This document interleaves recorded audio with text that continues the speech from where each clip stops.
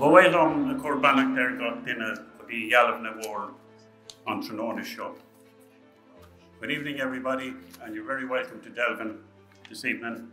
On behalf of Delvin Tidy Towns Committee, Delvin Historical Society, and the Ginnell, Ginnell family, I would like to welcome everyone and the Argentinian ambassador to Ireland, who was with us, which is a great occasion. I am delighted to be here today, not just to celebrate uh, with you all, but also the final year of the Decade of Centenaries. What a fitting way to end this commemorative period. Ian Kennellan and Paul Hughes have been the historians in residence since 2020, with Ian in place since 2023. The magnitude of their work has been immense. Throughout their time, they have created numerous events, educational and historical, with content that engaged our community. All the while being supported by Westmeath County Council.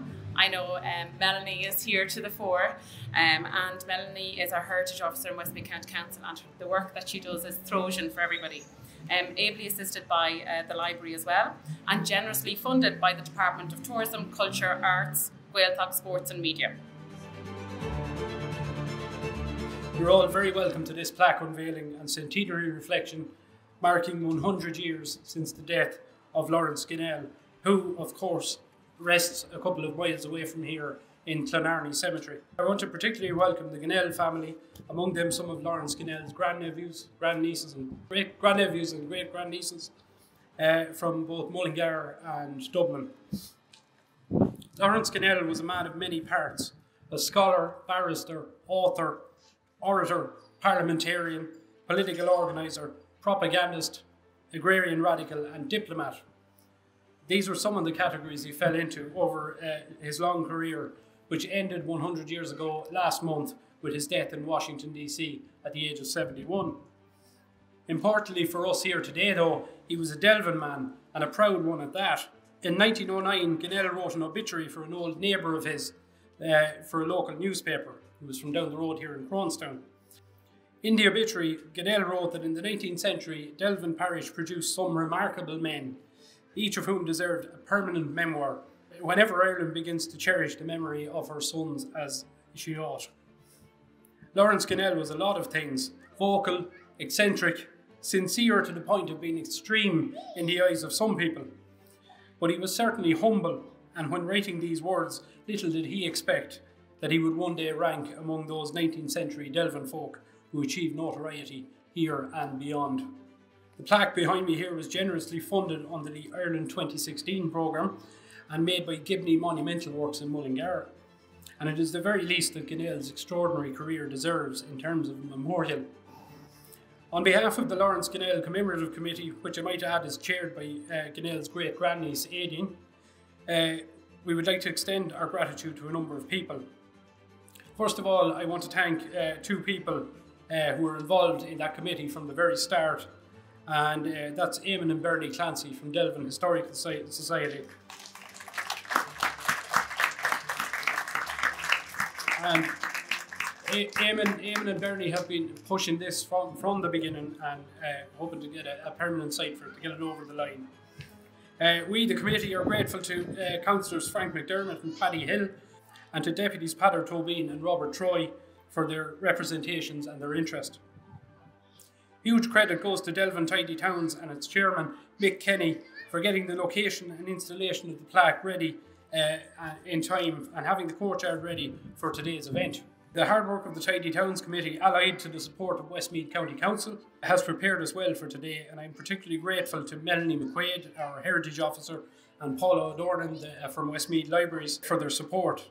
Many thanks also to our wonderful piper, Sean Kelly. I don't know where Sean is. Uh, there he is. Hi, Sean. Uh, I want to thank our special guest, uh, Her Excellency Miss uh, Ana Laura Cachaza, for coming here today at, at, short notice. Three days, I might add, after uh, presenting her credentials to President Higgins. Your presence, Ambassador, underlines the historic uh, connections between this county of Westmeath and Argentina and brings home to us again Laurence Ginnell's status as one of the truly global figures of the Irish Revolution. In recalling his own memories of Ginnell's diplomatic mission to Argentina, Patrick Little, who went on to serve as a government minister here during the Second World War, told the Bureau of Military History about his attendance at a lunch given by the Jockey Club in Buenos Aires in uh, 1921. And he said, Larry Ginnell, he said, sat at the top of the table, looking like a statue carved in ivory. He certainly lent prestige to the Irish delegation. And with that said, I can add that you, Ambassador, certainly lend prestige to our commemoration today. I'd like to hand over to you. So, ladies and gentlemen, Her Excellency, Miss Ana Laura Cachaza. It is uh, an honor to be here today. Uh, as, as it has already been said, this is the first official activity uh, as an ambassador of the Argentine Republic in, in Ireland since I presented credentials to President Higgins only three days ago on Thursday. So, and it is a pleasure that this first activity has to do with being here, with commemorating the life of uh, Laurence Ginnell. Uh, as a son of, of this, this beautiful town uh, who played such an important role in the process of independence of the of Ireland. There is a, a, a very big Irish community in in Argentina. Uh, it is the fifth largest Irish community abroad and the largest in a non-English speaking country.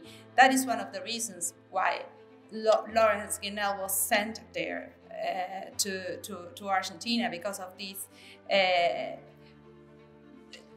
great number of, of Irish nationals that were living in Argentina by the time.